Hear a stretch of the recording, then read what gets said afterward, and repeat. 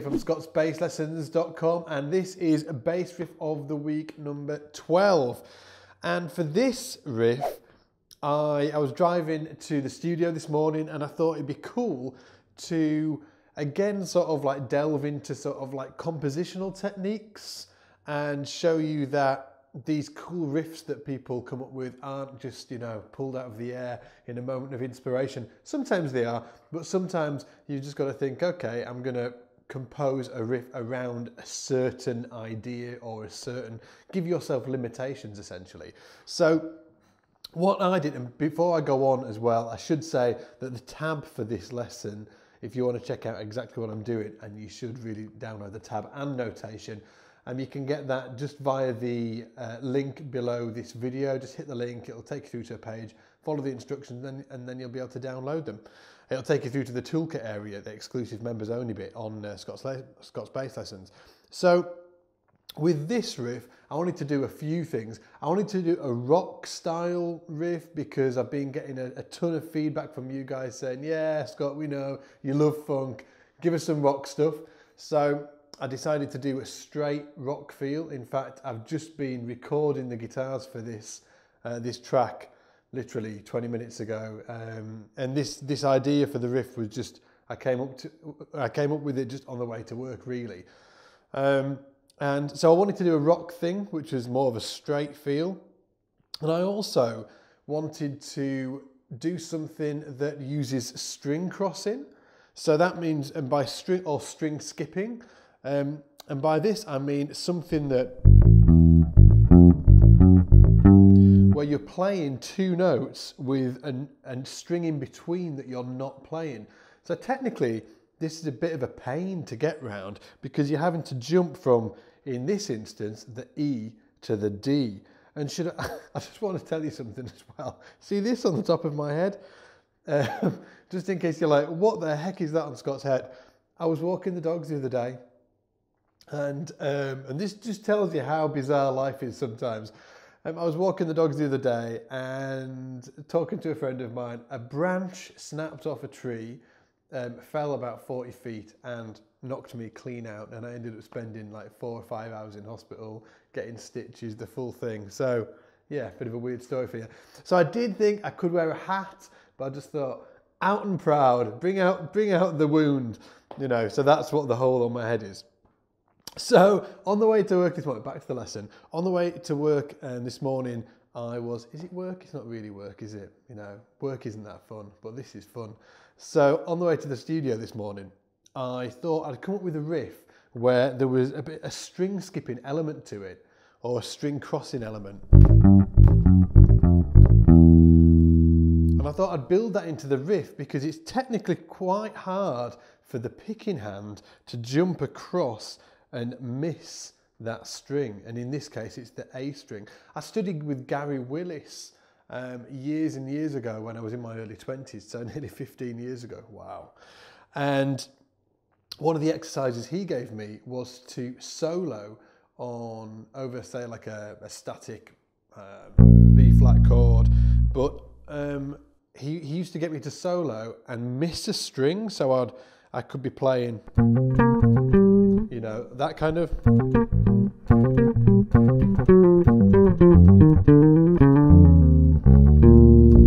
You know, where I'm actually missing out the D string there. I'm playing on the, only the A and the G string. So, and that's what I wanted to bring to this riff, that kind of thing. So we're having to skip a string during the riff. Now the riff, I'm going to play up to speed first and then I'm going to slow it down and show you exactly how I came up with this. So it's over an A minor, okay? And the notes from A mi minor are A, C, E, G, and A. That's an A minor 7 arpeggio, and they're the chord tones. A, C, E, G, and A. And the intervals are root, minor third, fifth, flat 7, and root, okay? But when you're coming up with this, the riffs like this, you can throw in a lot of other notes that aren't essentially in the chord and kind of spice it up a bit. So with this riff, I'm just going to play it you in full. So it goes two, three, a four. Yeah, let's just concentrate on that first bit. So here, I'm just playing the fifth, I'm playing the, so that's just the seven, the flat seven to the root. And then I've got the fifth here.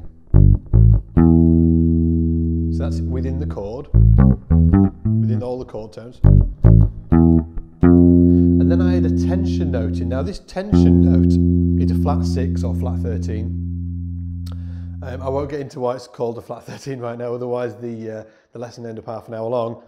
But you can also call it a flat 6. So if you go up one, two, three, four, five, six, you'll see that the F is a flat 6. And then I play this little motif again.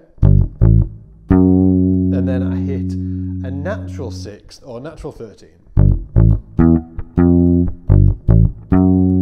And then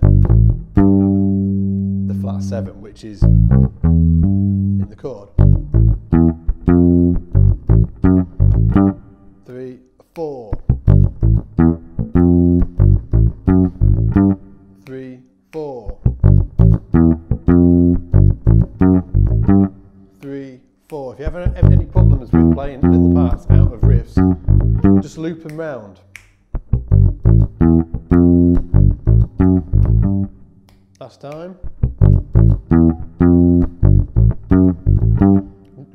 Now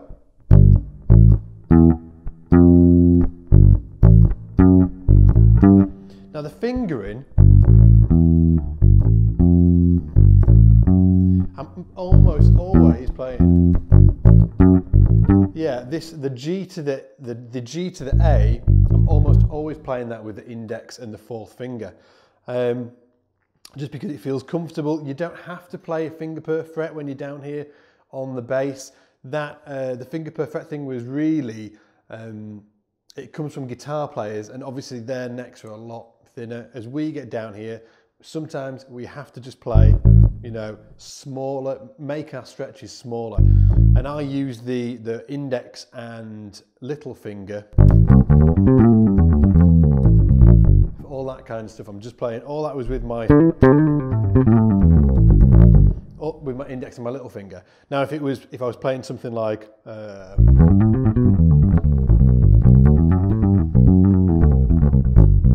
I might play, you know, using that finger per fret thing, but I'm only playing with the finger per fret down here when I have to. Okay, I'm not playing like this all the time. So anyway, back to the riff. So we've got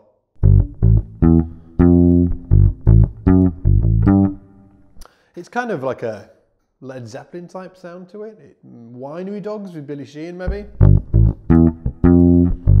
And then the next bit is really cool.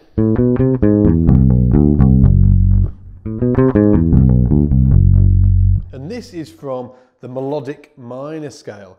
And this is cool because I'm using, I'm wanting you to watch this lesson and think, okay, he just didn't pick up the bass and think, oh, I'm just going to search around for a cool groove. I had a plan. I thought to myself, okay, it's going to be an A minor type groove. I knew that. I was going to have a string skipping element to it, which I have done. And I thought, I like that sort of like, that chromatic ascending run there. So let's build that into the riff. And that run there, um, I know theoretically exactly how that's working. So knowing your chord tones and, and scales and knowing how diatonic harmony theory works is such a it's if you're into writing your own music that absolutely turbocharges it because you start to understand how the chords fit together what options you've got if you're just picking up a, a guitar and and you know just just hoping for some inspiration, you know, you can't. You're at a disadvantage to a certain extent, or a bass. You're at a disadvantage because it just you, you haven't got your your full set of tools. The Beatles is a great example of this actually, because even though like I'm not sure how um, theoretically equipped John Lennon or Paul McCartney were um, in a in in the typical sense, but if you listen to their songs they they're really really grounded with um, diatonic harmony. They use a lot of seven chords, um, and they so they might not have known exactly how the theory of it worked, but they knew that they they were using like songwriting techniques. Uh, there's a lot of two five ones and things like that in their songs. So they're a great example of people that um, used theory or diatonic harmony very well within their songs. So anyway, back to this riff. We did the did that part. Now on to this next bit. So it's a melodic minor run on A minor. So we go, we, here's the, we play the A. It's all on the G string here. Just up to the uh, the C. So interval wise, that is root nine or root second, the tension. This is the cool bit. So just up the A minor, A, B, C, and then down to the A flat or the G sharp. Okay. And from here, now I'm going to talk about the theory behind this in a minute, but we come down A flat or G sharp, E slide down to the B. What am I doing fingering wise? I actually use my fourth there, so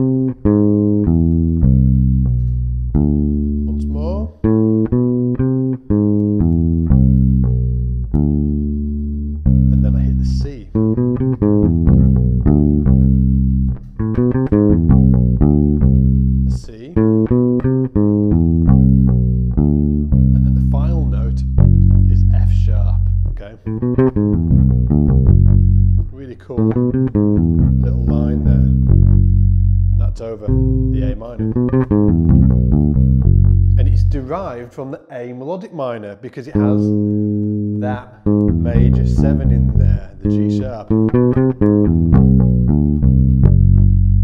and the F sharp, which is the natural 6 or 13. So let's just look at the riff up to that point. Two, three, four.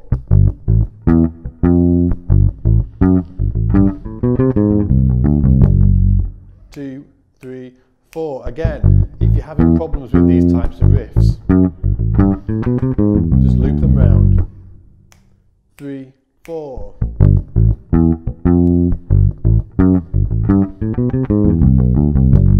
Last time. Three, four.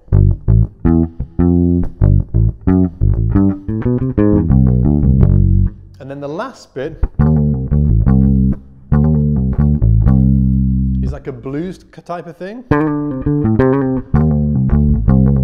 So that's, and again, I'm playing this with my index and fourth finger. I play my, the D, and I, I slide up and back from the D to the E flat,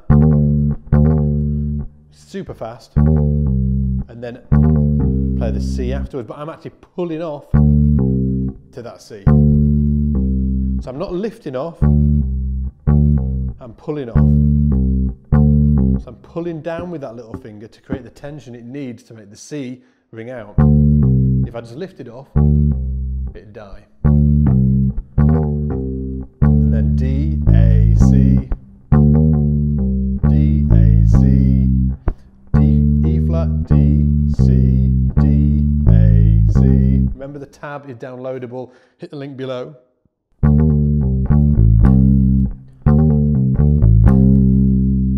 So let's hear that within the entire riff, okay? Two, a three, four.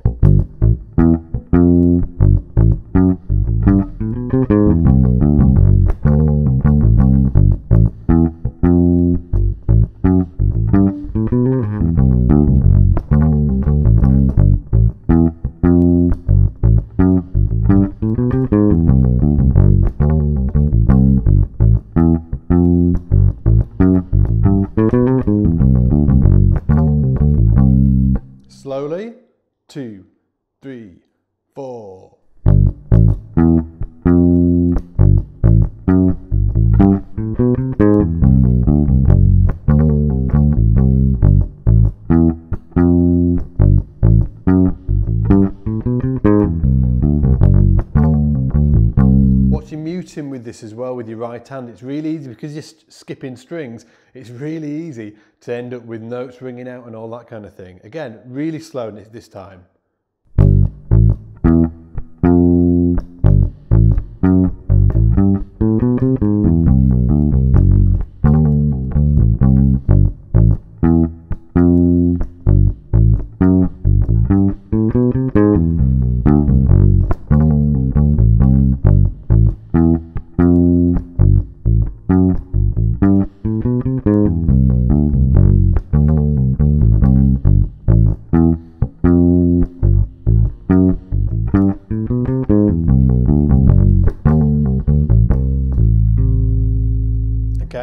So again, you're going to hear this full riff at the end of um, this lesson, and you can also download the play along track too, um, so you can play along. Another thing that I've missed off this riff, and I missed it out for a, a reason, is that the time signature is slightly weird. Okay, I'm feeling it in one, two, three, four. That's where I'm feeling the quarter notes. Okay, now if you'd feel it like that it means that there's a bar of two, four. So one, two, three, four, one, two, three, four, one, two, one, two, three, four.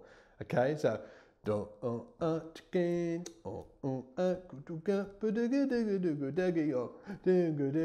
one two so two bars of four and a bar of two four which it isn't really an odd time signature it's just adding a bar of two forward. And somebody that did this really, really well was Burt Bacharach. He had um, some really great, um, great phrases um, in his melodies that you had to, he had to add bars of two, four, and sometimes three, four, and things like that into, into the mix to be able to cope with the melody. It's almost something that um, he, it was a great example of writing the melody before the actual song. So you ended up thinking, okay, I've got this melody. How can I make the song fit this melody? Which is why Burt Bacharach has, you know, you know, zillions of great hits because he was melody driven and not um, chord driven. It's really, really great example of songwriting actually. Um, again, I really recommend that you start looking into, um, I hate using the word theory because it's more harmony, diatonic harmony. Yes, it is looking into the theoretics of music, you know, major and minor and things like that. But it, this isn't stuff like um, that I learned at school. You know, I learned, I, I hated theory at school uh, when I went to school. I learned about, you know, compound time and all this crazy stuff that I can't remember. This, what I'm using here, talking about roots, thirds, fifths, um, sharp fives, flat fives. This is stuff that you can actually use, diatonic harmony, you know. This is stuff you can use on gigs and this is why I love it and I try and get all my students to really look into this because it is the absolute, this is this is what gives you go faster stripes as a bass player. Bass player, and I don't mean go faster stripes as you can play faster. I mean go faster stripes as in your actual bass playing and musicianship will just get turbocharged so much if you understand how bass lines are constructed and how you can use them techniques in your bass lines as well. So hopefully you've enjoyed this lesson or this bass riff of the week. There's going to be a ton more coming your way. I said to myself that I was going to do a full year's worth. We're on number 12 and I also say never do math on camera. So I'm not going to tell you how many is coming. Um, but trust me, there's a lot more. Other than that, go over to scottsbasslessons.com, make sure you sign up and be a uh, uh, sign up to the, uh, you can become a free subscriber over there and it'll get you access to the subscriber only toolkit area where there is like uh, discover the modes course, uh, the, the, the four things or three things you must know when buying any bass. I get um, Luthier, Chris May from Overwater Basses in and there's an interview with him. There's some really cool stuff. So go over to scottsbasslessons.com, sign up and I will see you in the shed. Take it easy. Bye.